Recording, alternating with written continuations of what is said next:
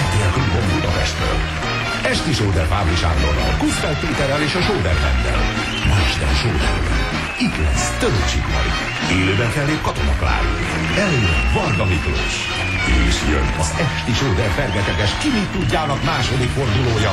A legkülönlegesebb tehetségekkel és a legkurcsább fazonokkal. Hölgyeim és uraim, a showmester Fábri Sándor.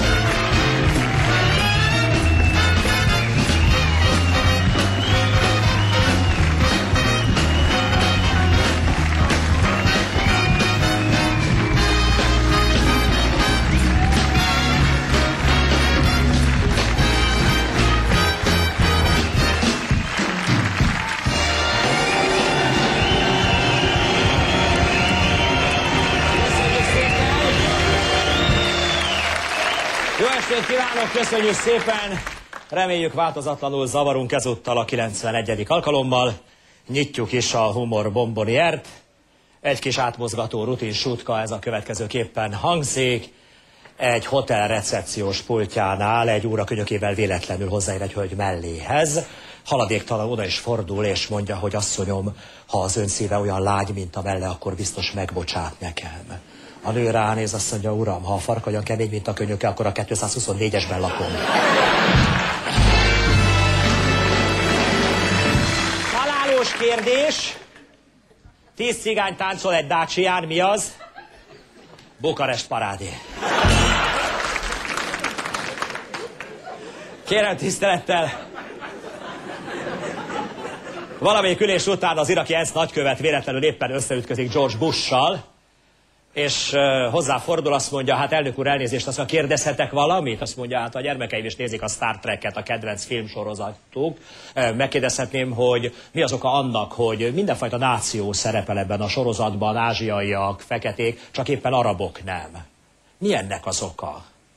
Bush hozzálép, mert a jövőben játszódik.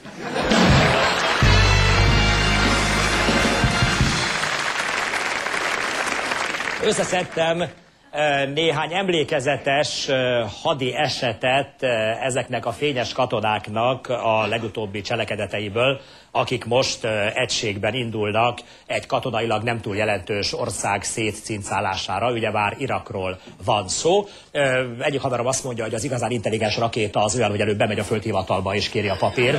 Ugye mielőtt valamit lebombáz, mellesleg lazán átlőttek Szófiába, és elmondanám, kérem tisztelettel, hogy a fejletlen technika olykor dacol a legfejlettebb technikával. Szerbiában a következő történt, hogy olyan radarok voltak forgalomban, ilyen 50-es évekbeli, kisterpeszű radar, vagy alacsony frekvenciás, vagy van rá valami műszó, a történet szempontjából nem lényeges, úgyhogy ők úgy lelőtték a lopakodót, mint a sic, mert ez a radar érzékelte, amit semmi más radar már nem érzékel, úgyhogy azóta van ugyebár az a szólásmondás, hogy táncol, mint szerparaszt a lopakodón. Kérem szépen említhetnék aztán annak az amerikai atomtengeralattjárónak az esetét, a becsületes neve Greenville, de csak orkának hívják a gyilkos cápa után. Két évvel ezelőtt egy havai mellett egy japán halászhajót sikerült elsüllyeszteni egy ütközés formációjában. Szó szerint a jegyzőkönyvben a következő szerepel, magasrangú civil személyek nyomogatták a gombokat. Az angolok pedig a következőt csinálták, szintén tavaly. Állítólag térkép olvasási hiba folytán Gibraltár helyett sikerült Costa Bráván parton, partra úgyhogy így ültek az üdülők ki, így békésen a nyugányokba, csámok már ásták be az aknavetőket, mire mondta az úszómester, hogy gyerekek fagyi hátul. Szóval, szóval elképesztő. Kérem tisztelettel, annak idején, amikor mind a két nagyhatalomnak, az Egyesült Államoknak és a Szovjetuniónak egyaránt presztis kérdés volt, ugyebár az űrkutatásban való előrelépés, az amerikaiak rengeteget küzdöttek azzal a problémával, hogy a hagyományos golyós és töltőtollak a súlytalanság állapotában nem működtek. Na most erre a NASA egy pályázatot írt ki, mínusz 110 fokban és plusz 350 fokban is működő tollat gyártottak, lehetett vele fémre, fára, műanyagra ö, írni. A názának ez 10 évébe és 12 milliárd dollárjába került, az oroszok meg ceruzát használtak.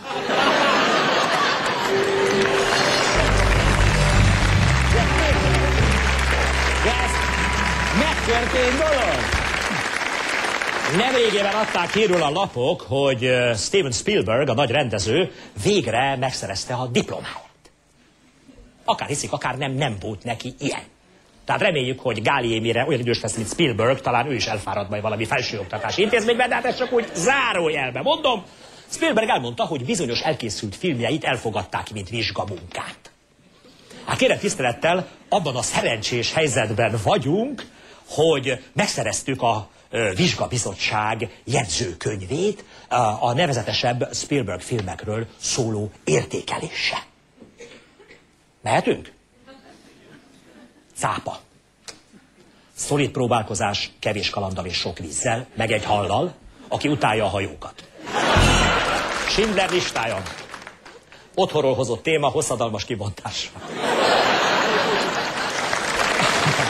A könyvtár...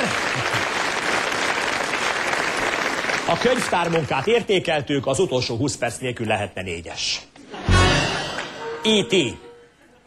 Zavaros történet egy csúnya kesztyűbábról, aki nem tud telefonálni. Átdolgozásra hétfőig visszaadva. E.T. okádjon tüzet, vagy legalább ebben is legyenek nácik. Jurassic Park. Az állatidomárok remek munkája sem tudja ellensúlyozni a sztori blödségét. A kamerakezelés bizonytalan, a kép gyakran remeg, a halálsikolyok nem őszinték. Csinálja meg még egyszer. Indiana Jones trilógia. Három filmet adott be, pedig csak egyet kell. Ráadásul a kazettákat nem tekerte az elejére. Ryan közlegény megmentése.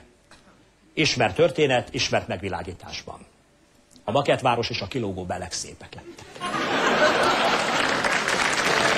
Kérem tisztelettel, tényleg az a benyomása az embernek, hogy 12 sztár egy tucat, teljes mértékben csereszhabatosak. Következik most egy all-star interjú, minden sztárra jó. Napi 22 órát dolgozom, de sokat vagyok a családommal is. Van egy nagylányom Panna, meg két másik, akikkel címlafotókon szoktam szerepelni. Három bemutatóra is készülök, pihenésre ritkán jut időm, aludni csak a nagyobb gálavisorokon szoktam. Stól Andrással láptengózom, Balázs Fecóval szkvassolok, dominózni pedig Anetkához járok. De van egy ismerősöm, aki nem médiasztár. Laci. Nagyon jól megértjük egymást. Most jelent meg a CD-m, amin a barátaim énekelnek Demier Rózsi barátaival. Tíz régi sláger, új borítóban.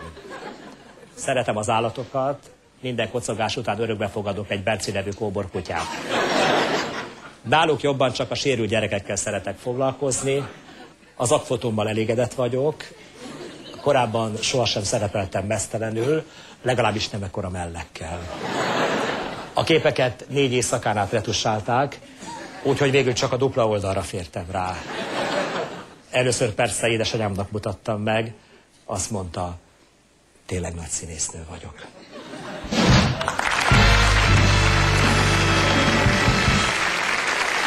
Köszönöm szépen, most egy rövid ideig a Sóderbend játszik, mi pedig azonnal folytatjuk Ilonka nénivel.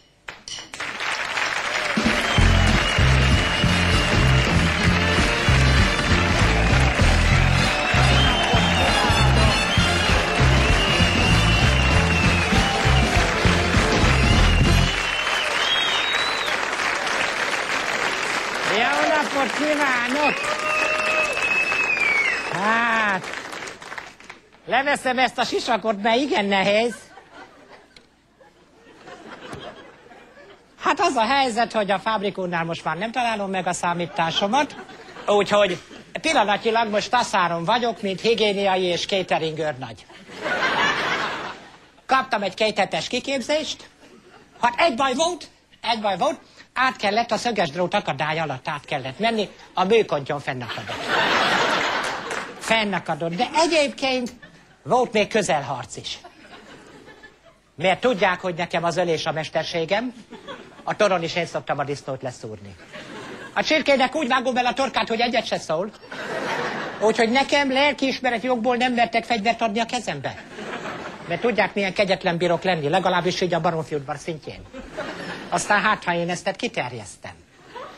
Igen. Olyan volt közelharcba, jön velem egy két méternél nagyobb szerecsen. Édesem, én meg ott állok a létsapommal. Hát mondom, mit csináljak, mit csináljak, csak jön, hát mi lesz ebben? Toppantottam egyet, azt mondtam, ludatonátus, visszausz, vegátus. Kész, így elájult, rögtön eldobtam magát. Na, úgyhogy, hát aztán vannak ilyen érdekes, ja hát igen, ilyen gyakorlóban vagyok, meg hát ott így átszázni kell a szerszámokat is. Úgyhogy ezek annyira terepszínűek, hogy van úgy, hogy reggel egy óráig nem találom meg.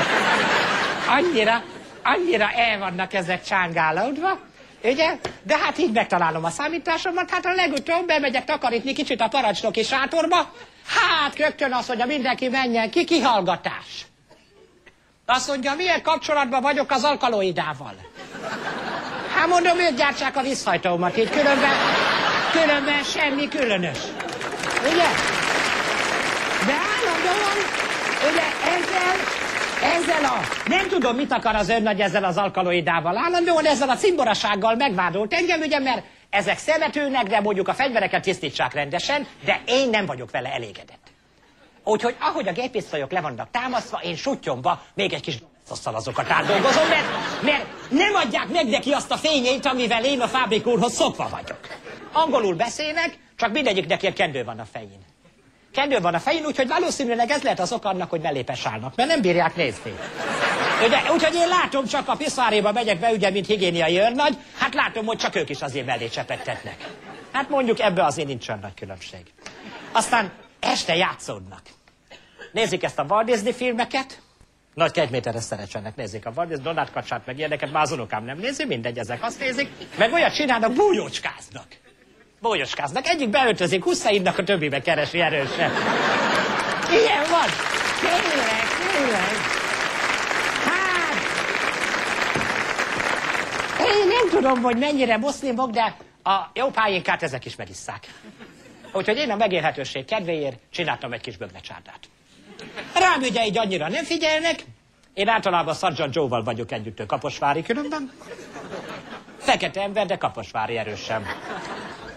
Megyek egy ilyen marmon kannával, az még az orosz laktanyában volt, eltettem, hát ha majd jön az új kompani, akkor legyen nekem oda is kannám, hát minden csere szabatos. Kérdezi, mi van benne? Hát jó eperpályika volt benne, persze. Mondom, kerozin. Azt mondja, oké, okay. jó van, mondom, nem is tudod te mennyire, oké. Okay. És kialakítottam egy kis bögrecsárdát. Lehúzzuk a redőnyt, hogy allak ne lássa. Ezeknek mások a fogyasztási szokásai. Úgyhogy én addig verem a disznóhúst, még azt nem mondja pipi. Kérem, én már a disznóból olyan rácpontot csinálok, hogy még szálka is van benne.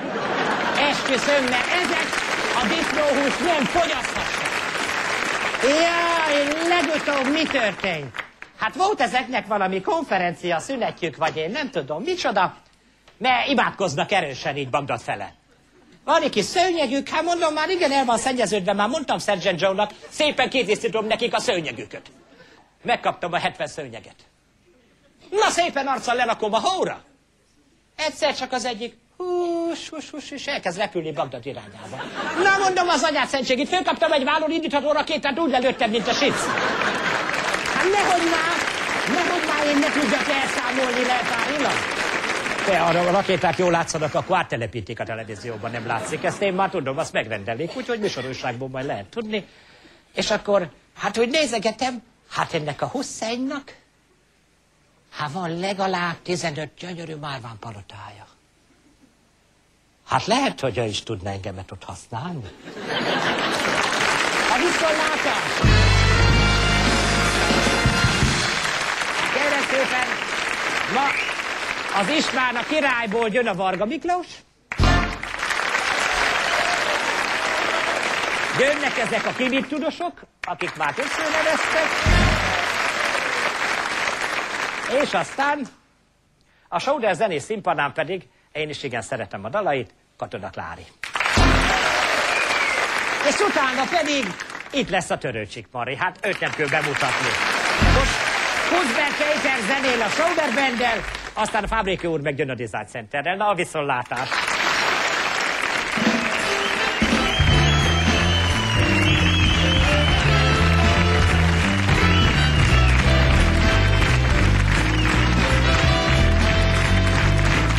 Uraim, mai eklektikus design centerünk első programpontjához segítőre lesz szükségem.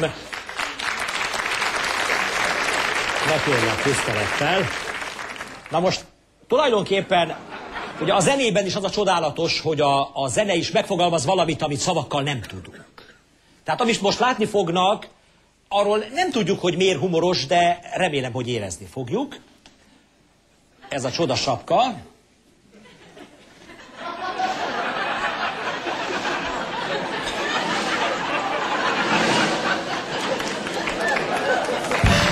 sapka. Antikám, nagyon szépen köszönjük, Szabó Antal urat látták.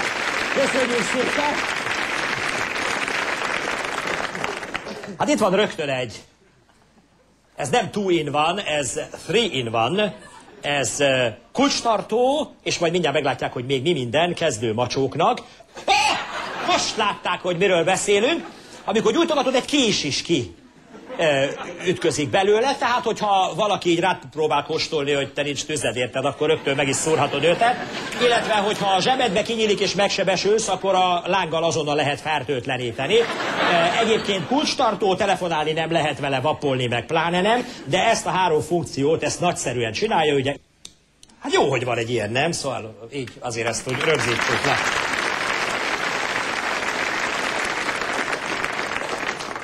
Kérem szépen egy Bakai Katalin nevű kedves levelezőnk az osztrák sógoroknál vásárolta ezt a kis rávezető jellegű eh, édességet, eh, amelyet hát a kisdedek, bár hát én nem tudom, hogy egyáltalában a valóságsók után az iskolákban van még szexuális felvilágosítás, nem? Hát a, a legmerészebb biológia tanárnőre is ráfagy a nejlon köpeny. Hát mit, mit nem? Hát mi még ugye bibécske, kis virág jönnek, iszét, hát persze, azt mi vártuk, mikor érünk a dugáshoz, de hát ugye most már, most már ez gyakorlatilag ott kezdődik. Na, ki lehet belőle hörpizni ezt a mindegy, ki lehet hörpizni valahogy, Anna nem tartozik a dolog lényegéhez.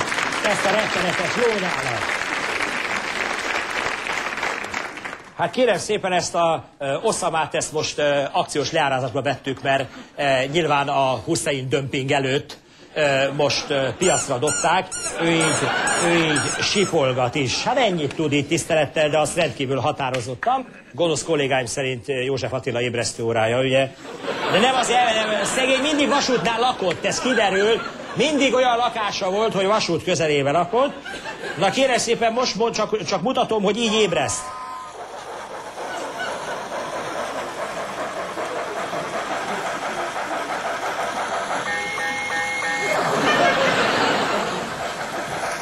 És hogyha már úgy érezzük, hogy fölébredtünk és le akarjuk csapni, itt kiengedi a cuccot.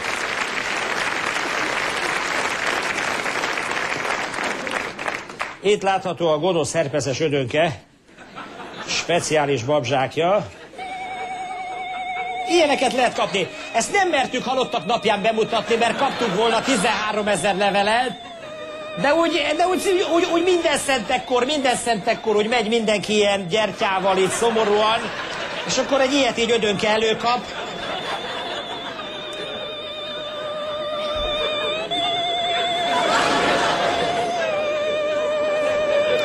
És az érdekessége, hogy ezeket én mindig úgy mutatom be, mint szörnyűséget, de utána jön 200 levél, hogy hol lehet ezt kapni.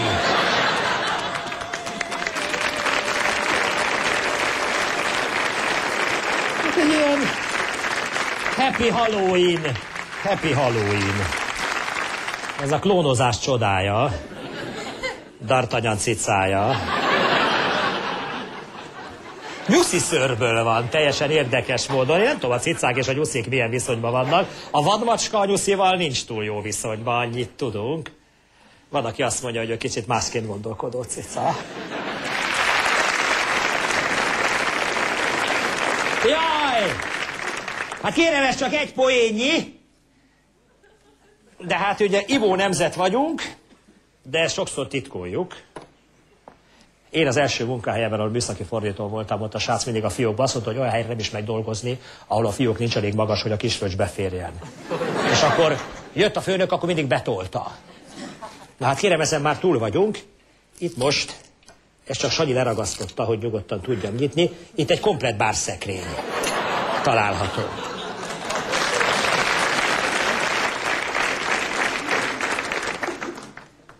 Rendőrautó.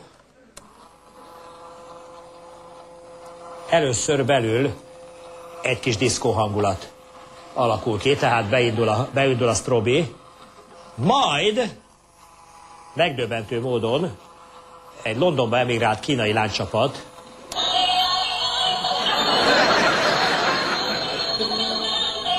Szóval tényleg megint egy olyan tárgyba sikerült ütköznünk, ami az életre nevel. Tehát úgy elképzelem a szegény gyereket, mikor először letartóztatják, és szól a rendőrnek, hogy zene nincs.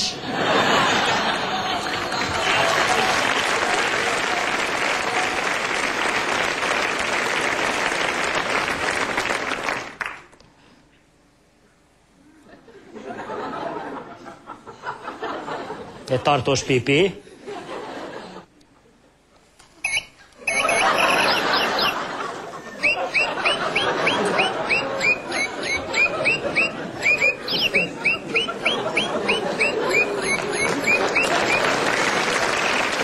Szegény Beethoven percenként hármat perdül a sírjában.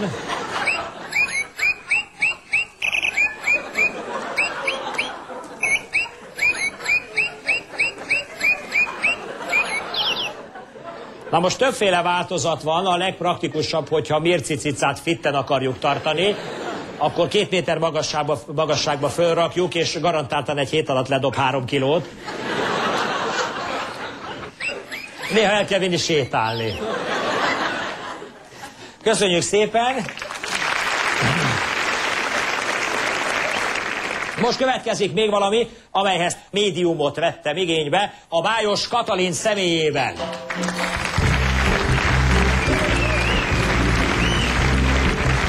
Kedi csókolom! Csókolom! Hát kérem tisztelettel, egy kedves nézőnk küldte be ezt a kis fürdőruhát, amely hát nem éppen a legfrissebb divat szerint készült, szigorúan műszál, és hát mondjuk a 60-as esztendőket idézi, egy nagyon komoly mell kosarazással, ugye, tehát egy nagyon komoly műanyag betéttel van ez egy tisztelettel ellátva, de van ennek a kis fürdőruhának egy olyan tulajdonsága, amely hát finoman szólva meglepő, ehhez egy kis demonstrációra van szükségünk, igen, ott van egy kis csövecske, így van, itt ki, igen, nem véradás történik. Itt fújjuk, vagy bújtassuk itt át? Honnan fújjuk? Ahogy tetszik, jó. Tehát van egy kis csövecske, és én ezt elkezdem fújni. Igen.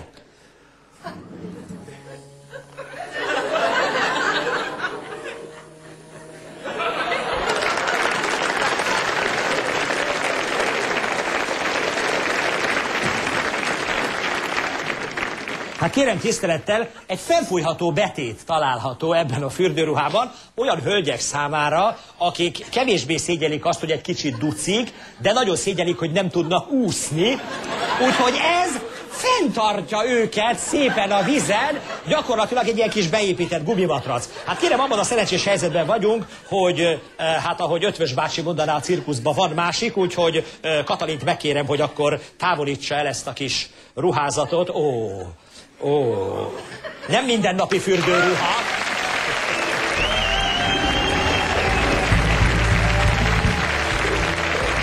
Nagyon szépen köszönjük, kedves csókolom, köszönjük szépen a segítséget. Hát kérem tisztelettel, hölgyeim és uraim, így néz ki ez a mentő mellénnyel kombinált, rendkívül rafinált felfújható fürdőruha, amelyet elvileg én is így magamra ölthetnék, de hát ez csak így jelzés szinten. Teszem, hölgyeim és uraim, ennyi volt már a Design Center. A Sódervonal száma a képernyő alján látható. Nagyon szépen köszönjük mindezeket a küldeményeket, és remélem, hogy a jövőben sem feledkeznek meg rólunk, és ellátnak ilyen és ehhez hasonló bohókás tárgyakkal. Hölgyeim és uraim, mindjárt jön a Sóder Kimittód második fordulója, különleges tehetségekkel és igazi fura fazonokkal. Elfogadta meghívásunkat a magyar rock egyik legendás alakja Varga Miklós, és külön megtiszteltetés számunkra, hogy itt lesz az egyik legnagyobb magyar színésznő, Törőcsik Mari. Most a Sóderben játszik, mi pedig azonnal folytatjuk. Kérem tisztelettel, Török Réka, 11 éves, kedves nézőnk hívta fel a figyelmünket egy kis turpisságra, hogy plusz 10 százalék. Török Réka átlátott a szitán, és szórakozásból vásárolt egy normál, nem 10% pluszt ígérő csokoládét, és egyszerű empirikus úton kiderült, ugye már, hogy ebben itt fönn semmi nincsen, és össze is mérte ő ebben a másikkal, hát kérem ez milliméterre ugyanakkora. Úgyhogy ne dőljenek be! Török Rékának nagyon szépen köszönjük! És ez a naptár, amelyet most mutatandó vagyok, ez nyugodtan nevezhető egyedülállónak, a cég nevét kitakartuk, hát, hogy fekete humor az enyhe kifejezés, egy temetkezési szolgáltató cég, erotikus koporsó naptárát látják. Nem én talál, ilyet nem lehet kérem tisztelettel kitalálni. Válassza a torpedófazont. Úgy gondolom ezt a fogyasztónak is odaadják, hogy akkor most meghalt a kedves papa, most akkor melyikből?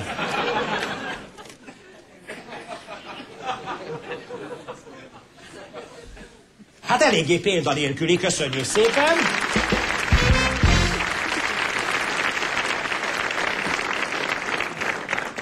Most pedig következik Varga Miklós.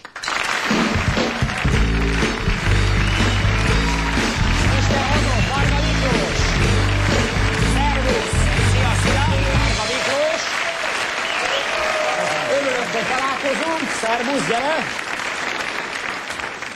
No, eh, kérlek szépen, eh, tudom rólad, vagy említetted, hogy félsz a bejöveteltől, hát az képest itt nagyon nagyszerűen bejöttél. Hát a, ha a közönség elé kerülök, velem mindig történik valami. Még István a király koromban, ez többször is előfordult ilyen kis afér. Az egyik a 90-es népstadionbeli István király előadáson történt, a koronázás a legvége, amikor a legpatetikusabb, legszebb a dolog. Én nekem már kezembe az országalma, jogar, jön Viktor Matyi fejembe húzza a koronát, Na most a történelem hamisítás az innentől kezdődött el, ugyanis a korona az pattogva a lépcsőkön távozott egyre messzebbről tőlem, a Viktor Matyi viszont már, mint aki jól végezte dolgát. De a fejedről, vagy mi? Effektíve, igen. Sőt, az addig ilyen nyílegyenesen álló kereszt, az akkor ferdült el. Hát kérem szépen, egy történelmi legendára, ugye egy történelmi titokra kaptunk most magyarázatot. Kérem szépen, hát e, folytassuk színpadi kalandozásai sorát. E, a palástal is történt valami malőr, nem tudom pontosan hol. Hát a koronázási ékszerekkel nekem mindig baj Mindig volt. van. Ez egy másik szörényi Bródi darab volt, a Szegedi Szabatér játékokon játszottuk, a e, Kiátkozott című zenés történelmi drámát, ami Kun László király életéről szólt. Én nekem az volt a szerepem, hogy Szent István király szellemeként megjelenek egy éjszaka. Na most rendesen fel voltam cicomázva, óriási palást, és hatalmas füstbe kellett bejönnöm, lépcső, egymás, mutatom közben. Fejemen korona, igen ám abban marha nagy füstbe, nem vettem észre, hogy a palást az baromi hosszú. Aha. És ráléptem. Aha. Na most el tudod képzelni a következő mozdulat, se előre, se hátra, és István a király uh, innentől kezdve, mint zrínyi berohanása. Így érkeztem meg a színpadra, megérkeztem, és mi volt az első megszólalásom? Józan, hogy ki László király, részeg álmodból. Te, és ilyenkor, ilyenkor azért azok kívül, hogy Józan, hogy László király, hát egy-egy-három-négy betűs szó nem hagyja el fogait kerítését, tehát nem szitkózódsz mondjuk egy picit? Hát én nem, bár erre is akadt példa, amikor 3000 néző azt hitte, hogy én valami olyasmit mondtam, amit magam is megbántam. Ez pedig a Költő visszatér című rockoperában történt, a Margit-szigeti szabadtéri színpadon. Ismét óriási füstbe kellett bejönnöm a második rész első jeleneteként. Egy gyönyörű Petőfi verset énekeltem, az Egy gondolat bánta engemet című. Bemegyek, és egyszer csak hallom, hogy írdatlanul röhög a közönség. És akkor kiderült, hogy uh, mi alatt én bejöttem, komótosan, hátul a sötétben valaki kereste a helyét. És na, hogy az ő mikroportja volt beadva élesbe, Na most a szerencsétlen elbotlott, és a Isten, bassza meg! A közönség meg azt látta, hogy én egy marha nagy füstből megjelenek, és úgy gondolta, hogy ez nyilván az én véleményem volt. Úgy gondolta, hogy Andrénak, Andrénak szántat, kérlek szépen. Viszonylag érett fővel pattantál először lóra. Én mindig sírva könyörögtem a Koltai Gabi barátomnak, aki, aki nagyon sok szerepet adott már nekem, hogy annyi filmet forgattunk már lovon. Miért nem, miért nem egyszer egy olyan szerepet kapok, am, am, amiben pucsét kell vezetnem. Uh-huh. A Juliánus előtt tanultam meg lovagolni, aztán a, a Gábor meghívott egy István király című Erkel operafilm forgatására, és az egyik jelenetben egy rövid vágtát kellett produkálni. Örültem a lóra, az én lovam az nagyon elkezdett táncolni, és én egyre feljebb kerültem. És egyszer csak azt látom, hogy a lónak a két füle az itt van a lábam között. Nem tudom, hogy ültél, ültél már Hogy ne, fején? hát sajnos. A Hát a fején még nem, nem, nem, nem, nem, nem. Ott még nem. Én ilyenkor már nem vagyok. Na most- De, tehát én nem jutottam el eddig a fázisig. Ez a pillanat számomra is, is elkövetkezett, mert innentől kezdve általában már fölfele nincsen hely, csak lefele. Úgyhogy megérkeztem, félkar az le, az, az elmúlt, viszont rögtön ráküldtek egy másik lóra, amelyik, amelyik úgy gondolta, hogy ő arra megy, amerre ő akar. Nem arra, merre én irányítom. Úgyhogy a forgatásnak ez a jeleneté azt hiszem, hogy talán ki is maradt ebből a filmből. Kérek szépen a e, közönség vagy a rajongók mit szólnak az ilyen kis intermedzókhoz? Dicséretet az, azt azért sokszor kap az ember. Az életem egyik legnagyobb dicsérete az volt, ez egy nem zenés színpad volt, egy koncert, ahol egy, hát egy erősen ö, lebarnult fiatalember fölkiabált a színpadra, hogy Hát öcsém, hát te jobb vagy, mint a Michel Jackson. No, hát kérek szépen nem egy túl fantáziódus kérdés, de ez egy eh, további eh, dolognak a trambulinja. Eh, Megkérdezem, hogy kik a kedvenc énekeseid? Hát sok, sok kedvenc énekesem van. Mindenkit szerettem nagyon utánozni. Ez, ez így volt például az Isten a király próbák alatt is. Amíg szegények fönszervettek a színpadon, én addig arra fakadtam, és, és úgy gondoltam, hogy én jó vagyok Sebestyén Mártiba is. És hát a unalmas óráimba énekeltem, hogy Győztél, uram, atyám felé, sötét vihart kavart ellened. Aha. És a többi, és a többi. Igen. Nagy kedvencem még ugyanebből a műből, eh, kedves jó barátom, aki, akinek a dala valahogy így szólt. Nem tűr meg idegen zamolát, álmunk valóra válik, vagy elveszünk egy szálig, de inkább halál, mint szolgaság. A, van, van, van, egy, van egy, egy, egy olyan magyar énekes, aki, aki szerintem minden egyes buli előtt egy deci sósavat lehajt, mert különben Charlie. Hogy találtad ki? Hát mert neki van ilyen, igen. Ma megölöd az délután, valahol valakivel. Á, igen, igen, Na, ez a ilyes. kávé, hát, igen. Két gyereked van, ők mekkorák, és hogy hívják őket? Most múltak két évesek, Vivien és Szabolcs. De miért Vagy- egy idősek? Abszolút, miután ikrek. Ja, köszönöm szépen. Ja, bocsánat, azt nem mondtam. Jó, nem érdekes, tehát. Van köztük egy olyan, egy olyan 45-50 másodperc. A kisasszony Ott voltál a... Természetesen, természetesen. Apás szülő, papás Apás szülő volt. Óriási élmény, mindenkinek ajánlom. És hát a Vivi és Szabi, ahogy ők egymást nevezik, Sisi és Basi. Hát, mert ugyanis így tudják mondani, ha, ha bár most már két éves korukban már azért szépen kimondják, de volt olyan időszak, amikor így nevezték egymást. És ö, hát a feleségem Orvul megtanította őket énekelni. Nem fogod kitalálni melyik dalra. Vén Európa. Honnan tudod? Na most otthon fennhangon ordítják már a dalt, igaz, hogy a... Ez jó a, lehet. A szöveg... hát a- Társasházban, lak- ja nem, ház, nem, családi családi házban ház. laktok, igen. Hát a szövegérthetőség az, az úgy, hát úgy, úgy figyelek, úgy, úgy nagyjából ráismerek a dalra, de a dallamvezetés az már azért némi kimennivalót hagy maga után. Ők tudják, hogy neked mi a foglalkozásod? Olyannyira, hogy amikor a televízióba téged? oda rohantak, hogy apa, apa. Onnantól kezdve bárki mikrofon előtt megjelent a, a televízión, oda rohantak, és apa, apa. Ne hozzátok Hát erre szokták mondani, az anya biztos, az apa bizonytalan. Hát mondjuk a, a gyerekek itt sejtenek valamit. Te, és valamit tudnál abból tenni, te, hogy mondjuk a Vén Európát ők hogy, hogy interpretálják? Hát az, az Európát azt, azt, azt, azt nehéz, viszont az első dalt, amit ők megtanultak, ez nem volt más, mint a Boci Boci című Aha. méltán népszerű sláger. Azt nagyjából úgy, úgy nagyjából eredeti módon elénekelték, a Boci Boci talka, se fie, se fá, oda megyünk lakni, ahol tejet kap, ez meg volt. Na most ők úgy gondolták, hogy ezt mi a fenének ilyen hosszasan előadni ezt a dalt. Persze. Lehet ezt sokkal rövidebb, Mai rövidebb gyerek, változat. mai gyerek. Ez így néz ki, azt mondja, ahol ka ki, oda ka pi.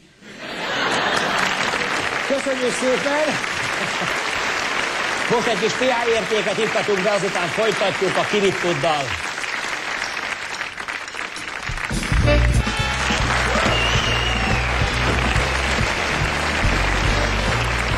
Hölgyeim és uraim, szerencsére Kimittudunkra rengeteg jelentkezést kaptunk, és kérjük Önöket, hogy talán a most következő produkciók hatására is e, változatlanul jelentkezzenek, hiszen a Sóder szezonzáró adásában értékes nyereményeket nyerhetnek mindazok, akik a következő fordulóban is részt vesznek. Hölgyeim és uraim, a Sóder színpadán fogadják szeretettel Víg Lászlót.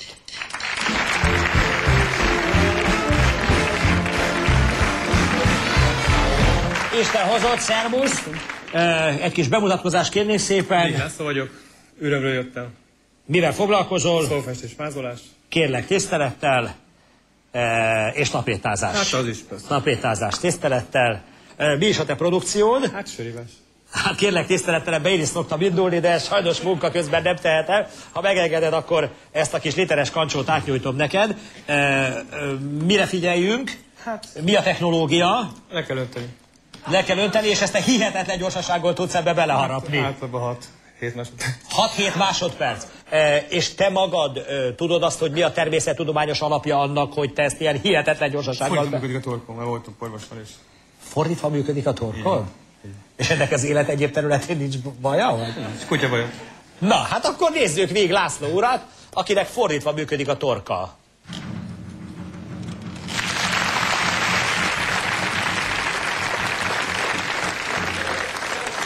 Nagyszerű! Köszönjük szépen! Következő, következő vendégünk Nagy János úr.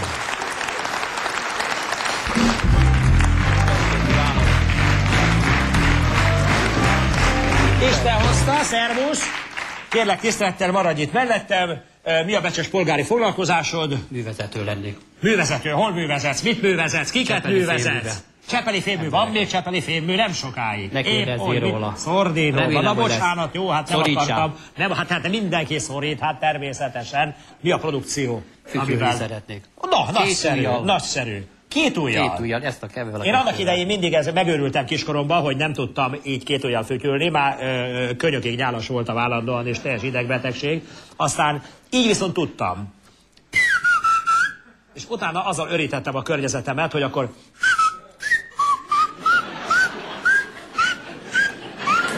Akkor már minden nyert. Kérlek tisztelettel. Tied a színpad.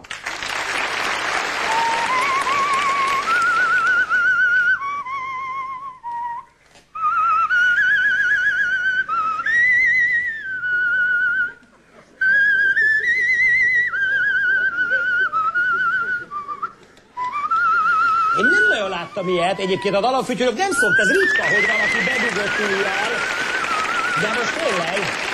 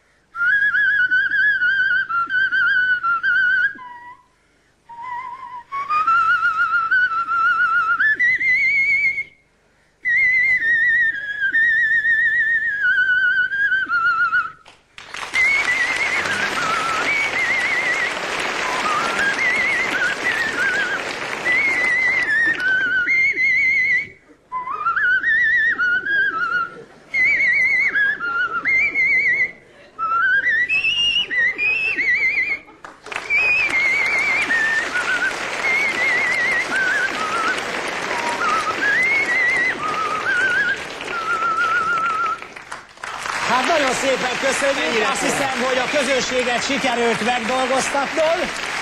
E, és azt hiszem, hogy ez eléggé ritka, ugye? Tehát a technikát egy picit mutassuk meg. Tehát ezt a kettőt Ezt bekapod. össze, össze tudod nyomni? Így. Hát, kis, kis toleranciával. Össze, és akkor... Aha, eleve már nekem nem nagyon megy össze, igen. A nyelv alá, a nyelvükből Hát azt vagy. tudom, hát így tudok. Hát ugyanaz. De mindegy, így tudok egyébként, ha nem vagyok indisponált, de hát te Istenért csinálod, még egyszer gratulálok. Köszönöm. Egy kicsit így állas új végekkel, és hát e, Isten ne adja, de hogyha a filmiparban nem mennének úgy a dolgok, ahogy szeretnél, azt hiszem, hogy egy új karrier kezdetén állunk, tehát talán tudsz e, mihez kezdeni. Na hát ez csak így zárójelben. Sok sikert továbbra is, köszönjük szépen, viszont látásra. A Sóder színpadán Stári Zoltán úr következik.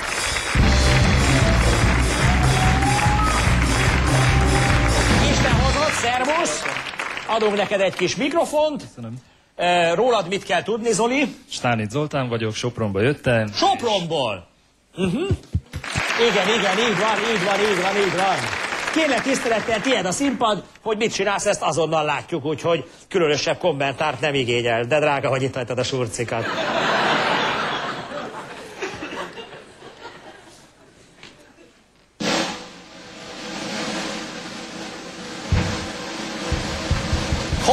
Sokat lacafacázik, mi? Hát nem nagyon volt előjáték, egyből fejre pattad, mi? Érezzük a dolgot, érezzük a dolgot.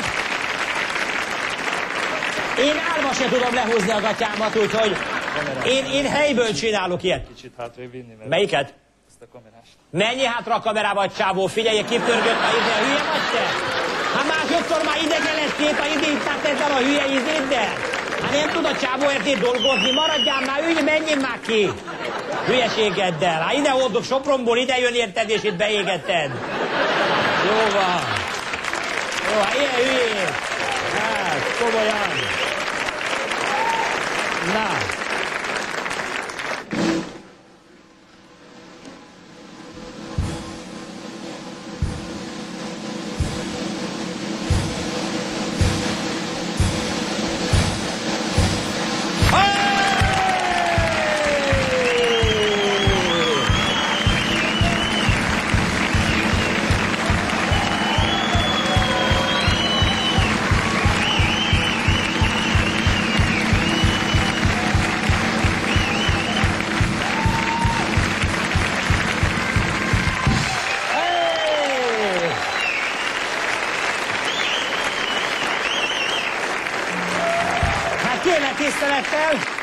Köszönjük szépen, örülünk, hogy láthattunk, örülünk, hogy itt voltál.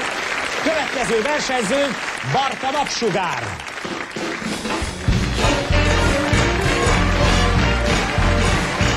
Szervusz Barta Napsugár!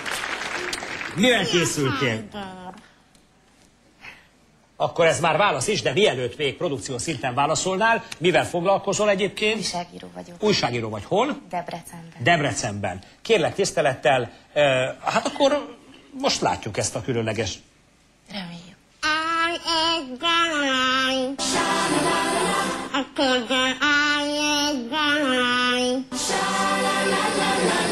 Ilyen nincs. Na, de maradjál már, hol van valamiben? Ezzel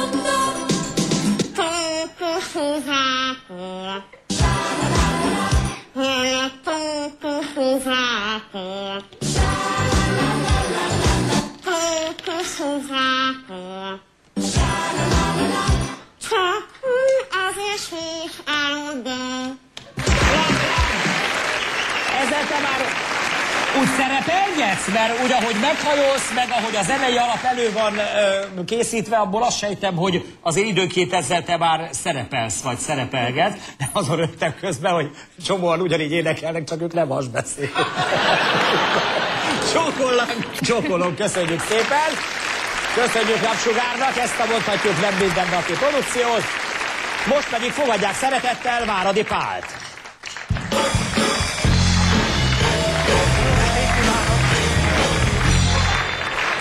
Tiszteletem, Váradi úr! Jó estét kívánok! A mi szereplésünket ugye meghatározza a produkció jellege, amelyhez erre a kis ülőre van ugyebár szükségünk. Igen. Honnan érkezett, kedves ö, Váradi úr? Piricsébe jöttem. Pirissévről, és amit most mutat, ez a szakmájában rokon, vagy teljesen más? Teljesen Mert ha most más. azt mondja, Teljesen hogy maga műhímző és műstoppoló, Nem, szemfelszedő vagy mozigép, nem, ez az- teljesen más. Más. Autóbusz gépkocsi vezető voltam. Gépkocsi 28 vezető. Jó, évig. tehát nem kovács, nem, Kosártanás. nem szerszámkészítő. Neked Nem. Nagyszerű. Mit látunk, mire figyeljünk? Kérem szépen ezt a hideg vasat, na vegyem ez. Igen. Ezt a hideg vasat kalapáccsal föl fogom melegíteni. Na először ellenőrizzük. A kalapács hideg, az üllő hideg, a vas hideg. Hát ez lényeges. Ugye, mert meleg vasat könnyen fölmelegíteni. Igen. Ugye? Tehát, úgy felmelegszik a vas, hogy cigire lehet mellette gyújtani. A cigi csak demonstráció, tehát azért nem kell a dohányzásra rászokni emiatt. Az iskoláját.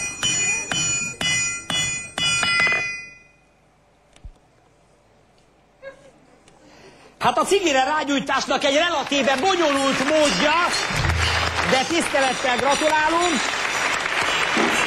Tisztelettel gratulálunk. Hadd kérdezzek még annyit, hogy hogyan tetszett ezt a produkciót kialakítani, hogyan jött rá erre a különleges dologra?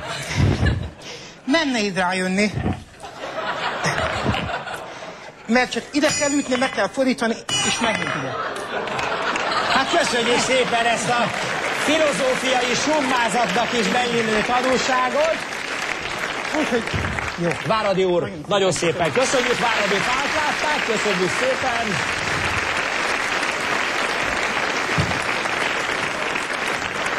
Most pedig len következik Nagy László úr.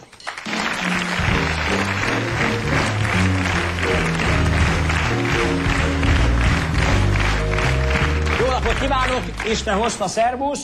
Ö, mi a becsetes foglalkozásod? Nyugdíjas vagyok. De azelőtt a nyugdíjas az nem foglalkozás, vasutas, kérem tisztelettel merre. mozdonyomat az előbb. Igen? Vagy a tiéd is lehetett volna, ugye? Igen? Ö, ö, A vasútnál mely munkakörben izzítottál?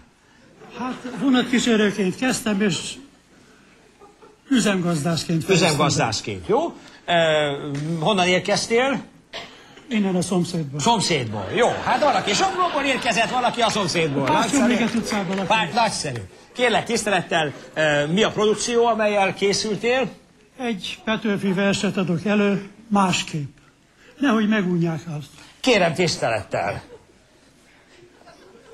Áhítatosan figyelünk. Petőfi Sándor, falu végén kurta kocsma. Falu végén kurta kocsma, oda rúg ki a szamosra, meg is látná magát benne, ha az én nem közeledne. Az éjszaka közeledik, a világ lecsendesedik, pihen a komp kikötötték, benne hallgat a sötétség.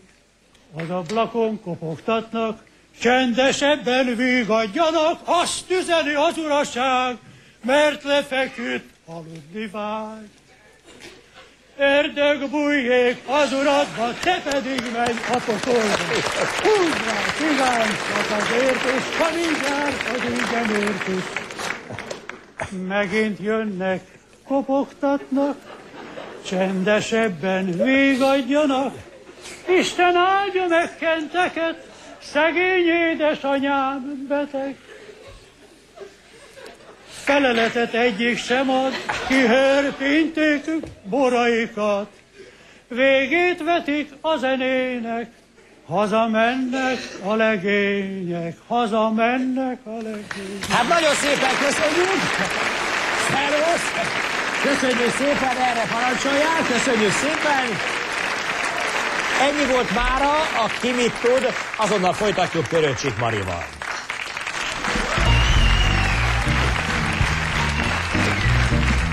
Várjuk szavazataikat a Kimit tud összes résztvevőjére a 06 30 30 30 088-as telefonszámon, vagy a Kimit tud kukac tvnet.hu e-mail címen.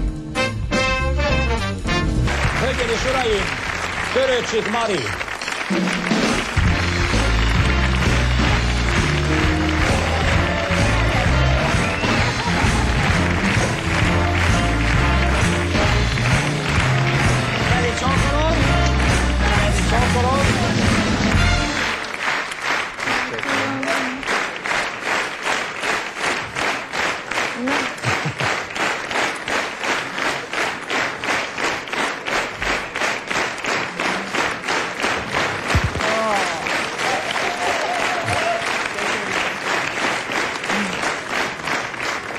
Volt olyan kedves említeni, hogy egyébként nem nagyon hord ékszert, de ami viszont, amit viszont hord, annak nincs jelentősége van. Jaj, nem olyan érdekes, gondoltam, hogy műsoron kívül elmondom. Ez egy, e, e, ez egy Helena Rubinstein bizsú. És ezt, e, amikor én Kánba mentem a én életműdíjam átvételére, akkor a Vidák Györgyitől kaptam én ezt. Hogyan zajlott ez a Kandi, eh, Kandi életmű átadás? Ez, nem, ez egy pár éve volt, nem volt olyan. Volt egy eh, ezüst Mercedesem sofőrrel, egy titkárom, és majd közölték, hogy 200 személyig adhatok vacsorát a Kátomba, vagy a... Úgyhogy igen, ez járt a Sofia Lorennek is, meg ez járt mindenkinek, nekem is járt. Gondoltam magam, kit hívjak meg vacsorára. Tudja, hogy van. A, a szervezés az körülbelül úgy ment, mint Tarna Szent Miklóson a, a tűzoltó bál meg, mert ne tudja meg, hogy e, összekeverték, nem azt a szobrot kaptuk, mert névre bepróbáltuk, de akkor nem tudták, hogy ki, mégis összekeverték, hogy ki egy órával előbb kellett oda menni. Ugyanan tehetetlenség, és ez az új fesztivál palota, ahol mi Aha. próbáltunk, ez egy ilyen betonpince, úgyhogy eh, eh, de jó volt azért. Eh, Hát a minisztériága elég hamar belekóstolt mondjuk a nemzetközi eh, film életbe. Eh, Karlovi Váriban eléggé hamar Nem, eh, szerepelt. Hát, Karlói Váriban engem azért vártak annyira, mert ugye addig én már háromszor voltam Kámba. És ez nagyon izgatta őket, hogy miért nem vagyok én is, ugye hát... Pedig ez, hát ez a- bocsánat, de Karlovi Vár is már 1960-ban volt. Nem, 59-ben volt az. 59-ben. De hát ugye... Az, Azt mondja, nem összes- tudja az évszámot. Ezt, ezt valamiért tudom. Szóval már akkor a három filmemmel Kámba voltam. És ők nagyon akarták már, hogy én oda menjek. Na ez volt a kölyök.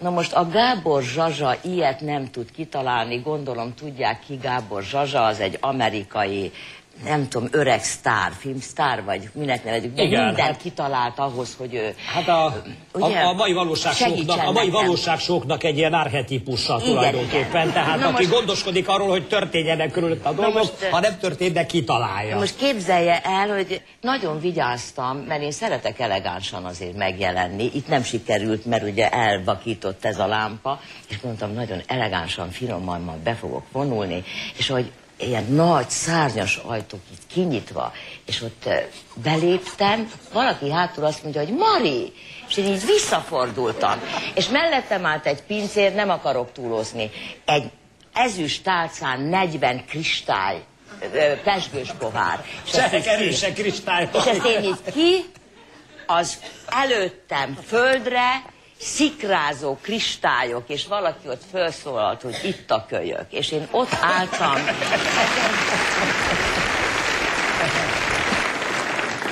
A rajongók ö, természete rendkívül sokrétű, hát magának erről nyilván óriási tapasztalata van, de azért, hogy ö, térdre boruljanak, az nem mindennapos, ami bár pedig Igen. megesett Ja, nem ez- régiben. ez Ilyen hosszú évtizedek alatt mindenfajta emberrel. Van, ami egészen meghatja az embert, és az szinte hihetetlennek tűnik, hogy én ilyen hatással lehetek egy emberre. Mentünk a, a Márgyulával Sopronba, és valahogy úgy éhes lettem, már este volt, sötét volt, ilyen téli idő, és láttunk ott valami éttermet, mondom, menjünk már be, hát ha lehet valamit enni. Bementünk, de rettenetesen lepusztult hely volt, úgyhogy gyorsan ki is fordultunk. De ott egy ilyen egészen, ez nem most volt, pár évvel ezelőtt, de hát akkor se voltam már 20 éves, szóval egy olyan 50 valahány, és egy, egy egész fiatal fiú azt mondja, "Hey, törőcsik vagy, teljesen, de teljesen elájultam, Szóval- és láttam, hogy enyhén szólva sokat ivott. Jött utánam, jött utánam, hogy ő el, ez, ez az élete álma volt, és, és mikor már odaértem a, a kocsi ajtaját, nyitottam, mondom, köszönöm, nagyon kedves, viszontlátásra, nem, addig nem mehet el, amíg le nem borulok, és meg nem csókolom a cipőjét. Térdelt is le, mondom, álljon már föl, drága, de ő már csókolta a cipőmet, és én pont egy lámpa alatt álltam. És ő fölnézett, mikor megcsókolt a cipőmet, és ránézett, és azt mondta, hogy Jézus Mária, hogy maga hogy megöregedett.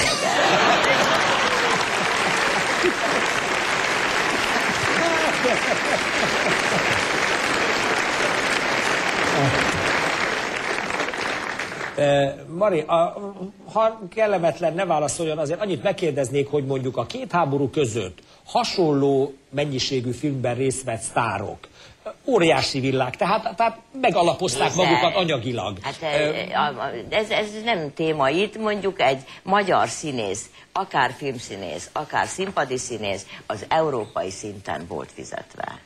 Mi meg úgy voltunk fizetve, hogy 3000 forintért csináltam a körhintát. Na, és 28 évig fizettem a Kanni ruháimat.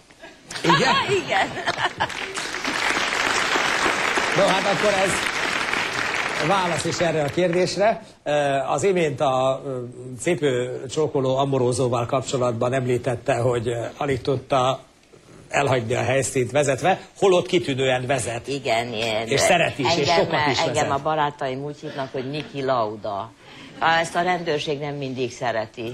Elmesélnék egy történetet autóval kapcsolatban, amikor az 50-es években még itt meg lehetett számolni a kezünkön, hogy hány embernek van kocsia, akkor emlékszem a Karinti Ferenc, a Karinti színi írónak volt már autója, és a feles, ő dramaturg volt a Nemzeti Színházban, és az Ági azt mondta, hogy Mari, vigyelek haza. Mondtam, vigyél haza. Mentünk át az alagúton, és tudják, ott a, a, most van a lámpa ott az alagút budai eh, részénél az Attila útnál, ott van egy lámpa. Ott átmegyünk, egyszer csak a rendőr integet. Megállunk, Ági lehúzza az ablakot. Azt mondja, hogy mi baj van? Azt mondja, a rendőr, hogy át tetszett jönni a piroson. Átmentem a piroson, észre se vettem. Mari, te észrevetted? Azt mondom, hogy én nem vettem észre. Ilyen női megközelítés. Azt mondja, azt mondja az Ági, hogy hát látja, beszélgettük és nem vettük észre. Azt mondja erre a rendőr. Én nem is azért mondom, de véletlenül jöhet egy kocsi.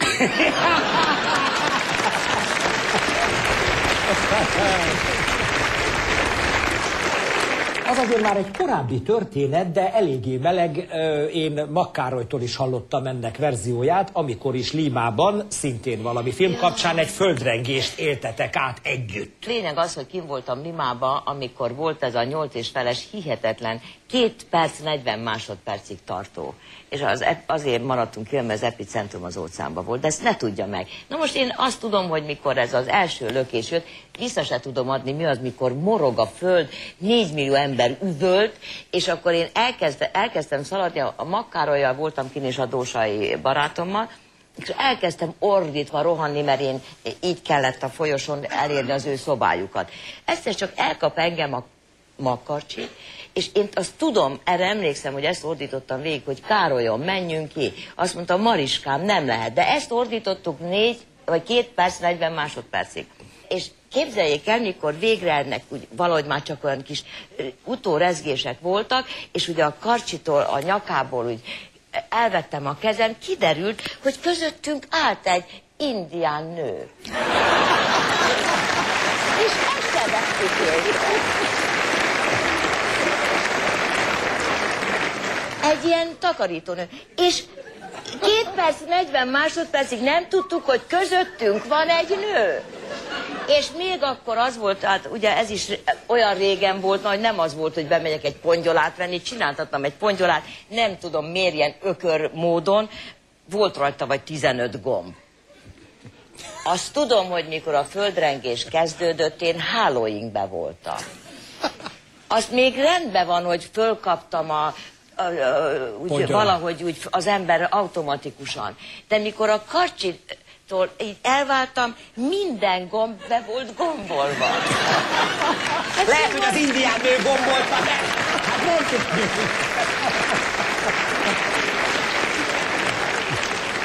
Egészen más közismert legendás barátsága, közismert legendás barátsága a Pirinszki Jánossal, aki gyakran vendégeskedett, és Igen, tehát mint háziasszony is, tehát sőt, hát mondhatjuk, hogy Igen. ilyen bejáró kosztos. Nem, hát nagyon, Vagy 20 gyakran. évig volt nagyon-nagyon jó barátom, vagy még továbbig, nem tudom, és ugye én 40 éves koromig egy teját sem nagyon csináltam meg. Egyetlen egyszer akartam sült húst csinálni, addig beszéltem az anyámmal telefonon, hogy hogy kell, már föl volt téve, de hogy mennyi vizet, hogy lángolt a húsom. No. Szóval én nem, én nem főztem, de hogy a gyerek meglett, ugye az én bennem a véremben van, hogy én egy szuverén ember voltam mindig, de a nő az arra született, hogy csak, na most én kiszolgálom, elkezdtem főzni, tanulni. És csak csirkét tudtam sütni. És Jánosom eh, gyakran járt hozzánk, és én, aki hát ha premier után azt mondja nekem valaki, hogy hát nem tetszettél annyira, Mari, hát jó, nem azt mondom, hogy örülök neki, de az rendben van. De ha főztömet, az állandóan dicsérni kellett. Jánosom, hát nem ízlik, Jánosom, hát ezt áll, szegény már biztos meg is unta, és a tizedik csirkénél azt mondta, hogy nagyon finom ez, de Marikám, nem lehetne valami mást is enni egyszer maguknál? Szóval ilyen, ilyen, ez egy nem olyan.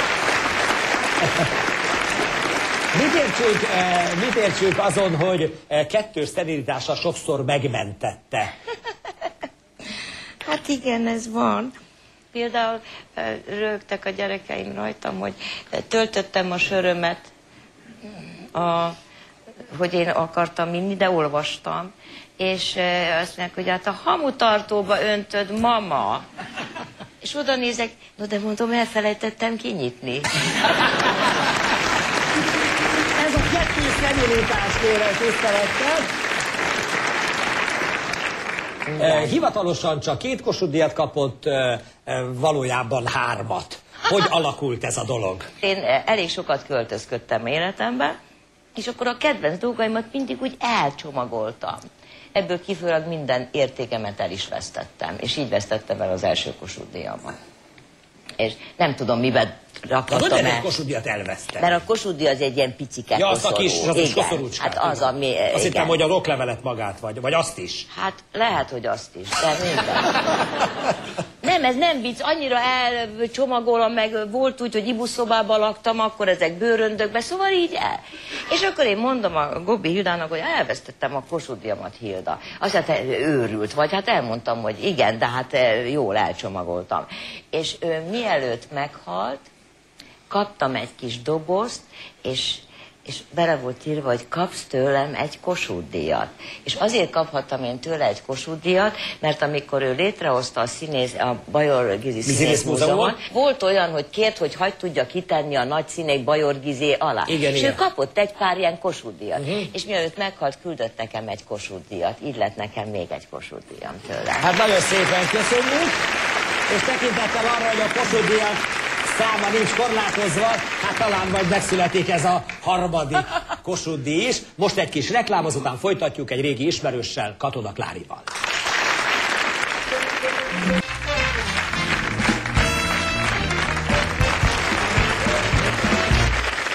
Hölgyeim és uraim, a Sóder zenei színpadán Katona Klári!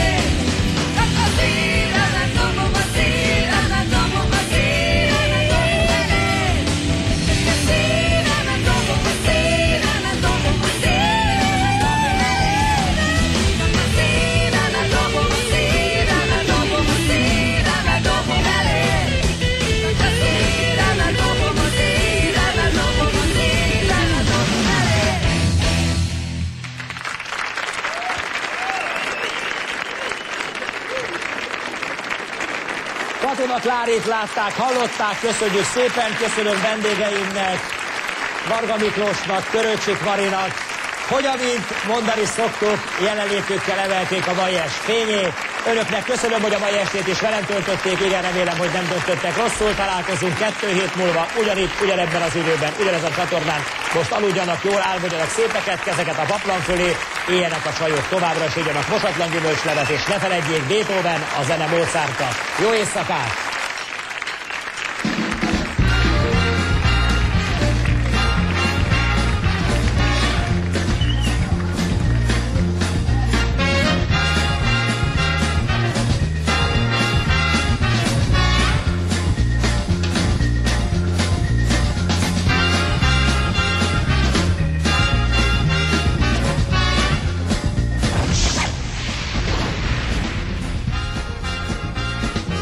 Telekommunikációs partnerünk a Texas-Tel.